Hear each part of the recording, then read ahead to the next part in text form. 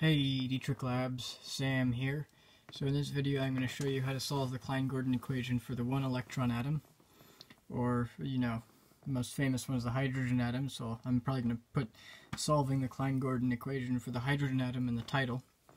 Now the Klein-Gordon equation gives the wrong answer uh, for the actual electron because Ultimately, the Klein-Gordon equation describes a relativistic scalar, and fundamentally an electron is not a relativistic scalar.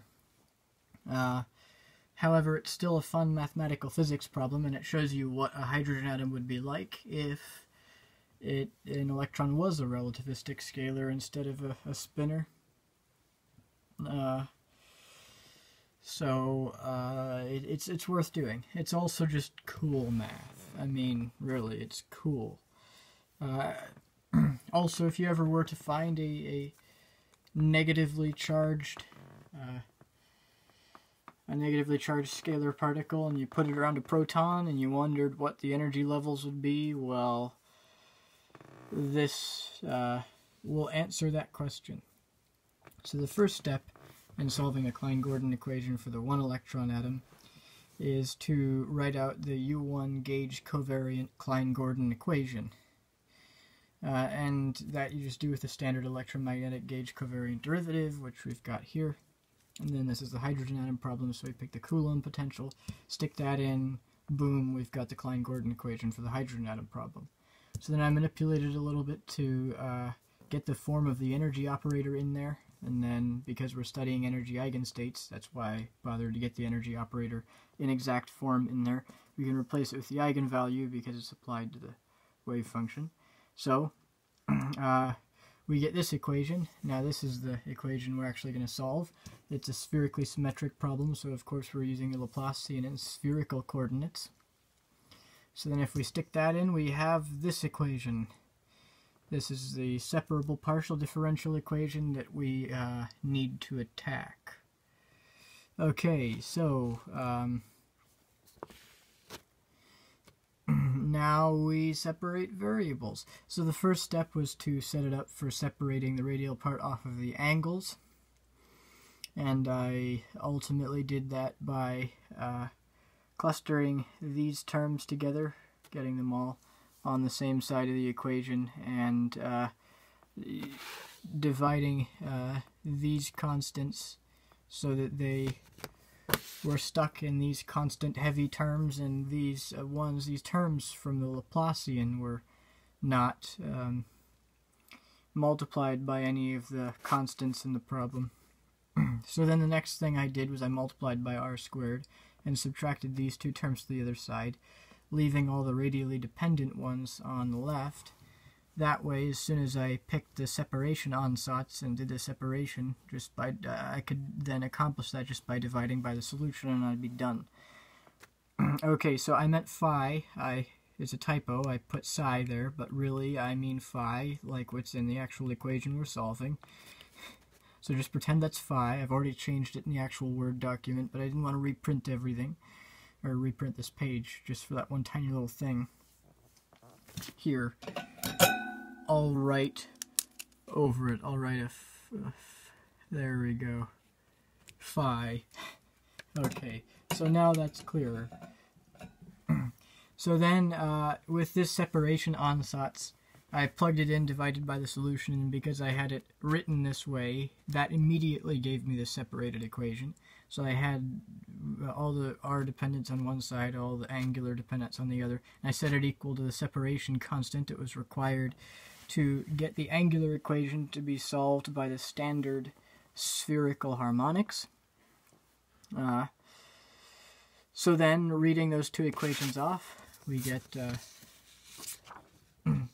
first the angular equation, which as I said, oh wait, not on screen. Okay, the angular equation, which as I said, I picked this constant specifically so that this is the exact standard spherical harmonic equation. That way the whole angular part is just the standard normalized spherical harmonics, which in the quantum mechanics convention you have this epsilon thing here. uh, it, it's exactly what you're used to, like from the Schrodinger equation, the angular equation is the same, it's the standard spherical harmonics equation, and So the standard spherical harmonics uh, are this normalization constant times the associated Legendre polynomials of cosine theta times the azimuthal phase that we're all used to. And then, uh, just in case you don't want to look them up or uh, didn't know, I've written out the definition of the associated Legendre polynomials in terms of the Legendre polynomials and the definition of the Legendre polynomials. And also, uh, from studying the nature of the spherical harmonics, you get this restriction. Now, I, in my video on the solving the Schrodinger equation for the hydrogen atom, link in the description, uh, I actually went into the detail of separating variables on this, solving for the azimuthal phase, getting the, uh, you know, imposing single valuedness and boundary conditions and normalizability. Um, really, uh, the only boundary condition, well, I guess single valuedness and normalizability, if I remember correctly, are kind of the, the, key things here because this is the angular part. Normalizability gets a bit more complicated in the radial part. But anyway, I went through all the details on how you actually uh, break this equation apart into a polar equation and an azimuthal equation. And then I solved the azimuthal equation, and then I talked about the polar equation, gave its solution, or the, the relevant subset of its solutions, and I talked about why they were the relevant subset, and uh, all that. And then I went through the normalization procedure and uh, I talked about this constraint, how it comes out of the nature of the spherical harmonics. I did a whole bunch of detail on the spherical harmonics in that video. So I'm not going to redo it. I'm just going to reference you to my video on the Schrodinger equation for the hydrogen atom. So that means we're, uh, we ultimately only have the the radial part left to solve because this is the angular equation in its full solution eh, the full normalized solution. So that that finishes that up quickly. So the radial equation is where things start to deviate from the Schrodinger equation. The fact that the radial equation is different is why the energy comes out different than the Schrodinger equation problem, and why the wave functions turn out to be a little bit different than the Schrodinger equation problem. so, uh, uh, it, it, it, this is where it starts to get interesting. And because I already did the Schrodinger equation, and this is where it first deviates, that's uh, the main reason why I didn't go into detail on the spherical harmonics. It's not where it gets interesting yet. And also, I already did it. So, uh, the solving process, although the equation is a little different, it's not different enough for the solving process to be much different. Still, we have this term from the Laplacian in spherical coordinates, and the way to simplify that is with the same substitution. So we factor out a 1 over r from the, the, the radial factor. we stick it in, it simplifies down the second derivative in exactly the same way. We plug that in and multiply by r, and it gives us this equation. Now, um, just like in the Schrodinger equation problem, the goal here is to absorb some of the constants in a change of variables to rho, uh, by, and it's just a constant rescaling of the radial coordinate. However, in the Klein-Gordon problem, the constant by which we're rescaling it is different than the constant we picked in the Schrodinger equation problem for the hydrogen atom. Specifically, we're going to rescale it by a factor of beta, which is this. Uh, it's different than the constant by which we rescaled it in in the non-relativistic limit. Uh, okay, so then I also uh, not only defined this in preparation for uh, um, changing variables to rho, but I also wanted to mess around with the constants up here. I messed around with those constants so that I can uh, define a convenient a constant that that's both convenient uh, for the solving process and also condenses this a little bit. Basically, what I, I did was I multiplied L through, and then I added and subtracted a, a fourth, and then I that was completing the square. So then I completed the square here, uh, and I'm going to define a constant called mu on the next page, which is the square root of this, and that ultimately is it simplifies the problem and is also convenient for solving. And then after that, I will proceed to actually do the change of variables that was made convenient by defining this beta. Okay, so, uh, ah, next page. So then this is that mu constant that I was talking about. I was going to define it on the next page. So if we see this equation here, and then uh, we define that mu, it becomes this. Okay, so the next thing I did was I divided by beta squared. And I specifically stuck one of the betas in this term in that factor and one on the r so that the change of variables is super obvious. Then I defined the variable rho and I stuck all this these bunch of constants into a lambda. Uh, and then that gave me this really nice simple equation. And I changed the name of the function because sometimes I like to do that when I change variables, even if it's just something as simple as a constant uh, factor on, on the old variable equals the new one. So now, this is the form of the radial equation that we're actually going to bang our heads against. This is the one we're actually going to solve. And the process we're going to use is just like the one we used for the Schrodinger equation. Okay, so uh, the process I used for the Schrodinger radial equation was to uh, first take the asymptotic limits of the equation, solve those, then uh, ignore the non-normalizable solutions to the asymptotic equations, and then uh, take the asymptotic behavior of the solution I'm interested in to be given by the, the terms in the solution that, that I didn't throw out. So that gave the asymptotic behavior. I then factored the asymptotic behavior out of this W function. So that amounted to picking the ansatz of W equals the two asymptotic forms times some uh, function V with the asymptotic parts factored out. And since the asymptotic behavior is factored out, we expect it to be nicely described by a power series. So then I uh, pick a power series for the equation for V and solve away. So the first step then is to look at the asymptotic behavior of this equation as I described. In the large rho limit, these two terms go to zero and we're left with this equation. The solutions are trivially easy to see as these two exponentials. Uh, this one's non-normalizable, so we're left with that one. So our desired asymptotic form is simply e to the minus rho over 2. So if we if we look back at this equation, we take the uh, the small rho limit instead of the large one. This is insignificant. It's a constant, of course. And these two grow, but this one grows way faster, so that one dominates, and our equation reduces to this. The solutions to this equation uh, are, are these two, but it turns out that one's non-normalizable, unfortunately. So then this is our uh, asymptotic form. So then our solution, based on factoring out the asymptotic behavior, our, our ansatz right, is right there, the two asymptotic forms times some v function, or function that I labeled v. Okay, so now let's plug that into the equation.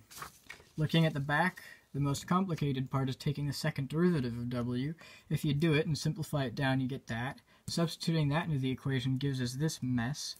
But ultimately, terms cancel and it simplifies down to a slightly less awful mess, defining a few new constants to absorb some of the ones that show up in that equation. And um, here we get this really nice simple equation, and this one we can attack with a power series. So we postulate that it's some power series, and then we uh, take derivatives of it, stick it in the equation. Now you can look at these derivatives, and you can actually uh, not change the power series by incrementing up the value of j in the uh, in this thing in the sum and the reason why is because the first few or one in this case and two in in, in this case is actually zero because factors in the front of it go to zero so then we're free to raise the value of the index by 1 in that case and 2 in this case. And we use that here to make the power on the rho the same. So then we can factor it out and get this. However, uh, this implies that the coefficients are 0, of course, which gives us this recurrence relation ultimately. And now if we take if we subtract 1 from j, then we get this version of the recurrence relation, which actually I see more often in the literature than uh, this version of the recurrence relation. I don't know why that is, but this seems to be the way it's more often written. Okay, so uh, now we need to explore the large J behavior of this, because ultimately we'll see that it's non-normalizable and that we have to terminate. That'll give us quantized energy and all that stuff. So, if we look at uh, this version of the recursion relation and we eliminate all the things that are insignificant in the large J situation, it reduces down to just that, just a 1 over J, which of course implies that Cj equals 1 over J factorial C naught. now if we insert that into the power series and sum to infinity, of course it gives us an exponential, and we can see that that gives us absolutely non-normalizable behavior, which tells us we have to terminate, and that gives us energy quantization. So we terminate at some power j max, so cj max plus 1 equals 0, but then looking back at the um, uh, this uh, recurrence relation here, if uh, cj plus 1 equals 0, then ultimately from the recurrence relation we get this result, that termination condition. If it terminates at j max, then this is 0, but that means this numerator is 0 here. And there's the equation we solve for the energy. Okay, so picking j max to be some non-negative integer k, so nothing less than 0 because we can't terminate at a power less than 0. It didn't show up in our original power series. So then we plug in the value of, of b in terms of mu and lambda, and then we plug in mu and lambda, and we do some algebra, and ultimately, hey, we get an energy, oh, it's not on screen, we get an energy formula.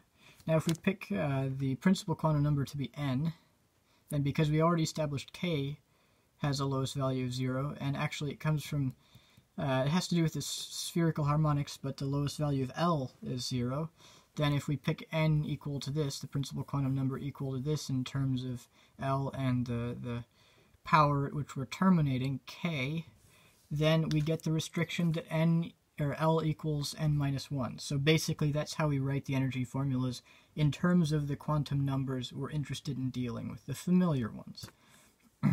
so then that's the formula in terms of the familiar quantum numbers. This is kind of the, the big result. Now uh, we have a, the full radial wave function, which is a, a, normalization constant, times the 1 over r we factored out initially, times the two asymptotic forms there, times those polynomials v and l, which were given by the terminated power series, corresponding to this recurrence relation. So they look like that. Right. Okay, so then where, where you terminate it depends on n and l. Terminates at k, uh, and k equals that in terms of n and l. So it controls where you terminate it, the quantum numbers do, and, and, tells you therefore what polynomial to be using. So then multiplying that by the angular part, and we have the full solution. And again, I meant to use phi for the wave function here, which I did in the beginning, and I also made a typo about it, as you saw in the beginning. So let's just rewrite that now as phi. Okay. So that is how you solve the Klein-Gordon equation for the one electron atom. It's a wicked cool mathematical physics problem. That's how you get the energy eigenvalues and the exact solutions. Dietterich out.